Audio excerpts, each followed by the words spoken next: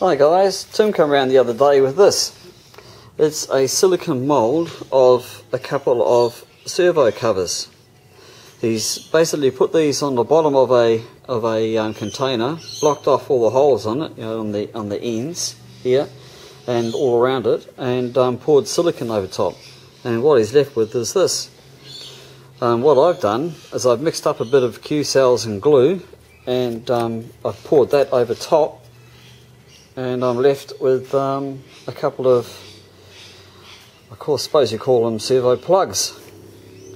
And over here, I have got a bit of 16mm MDF and um, drilled a hole through through the centre of it, and I've got a a vacuum um, pump connected up to that.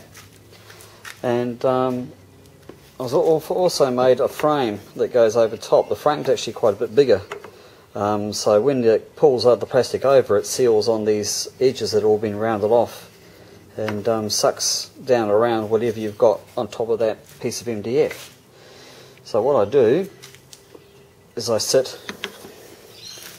one of these on here just so the holes just showing on the corner and I've got some Coke bottle plastic, which I get from um, PGM Plastics, which is just down the road. Uh, it's about nine dollars for a for a small sheet. It's um, 0.5 of a millimeter thick.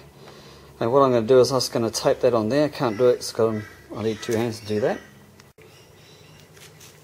Okay, I've just um, taped it on. As you can see, I've just put a bit of tape around over on top of the plastic and over the side of the frame, so that is actually quite rigid in the frame um, so it's not going to move. I'm going to try and do this, it's going to be quite awkward, with my hold the camera with my left hand and you heat it up with my hot air gun with my right. So here we go.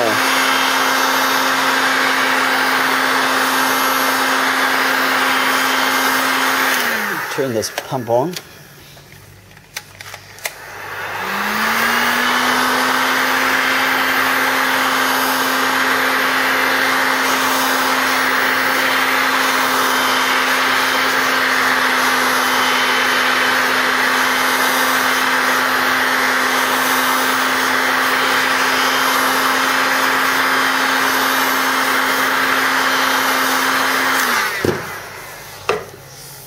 We go. I don't know if I got that with the camera, but that's basically what you do. Plastic um, goes over this frame and sucks down on all the corners. And of course, it, it sucks whatever you got on there, or around whatever you got in there. Okay, we'll just turn my vacuum pump off now. And um, just let it until it cools a little bit more. That's probably about right. I'll just take that off. Now, I should be able to just lift that out, and what we're left with is a servo cover. Which actually, they're actually quite tough. They're, they're actually quite rigid, which is really good. Oh, there we go.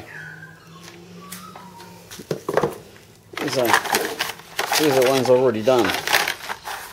You have to remember to do a left and a right. That's the only thing. Come on.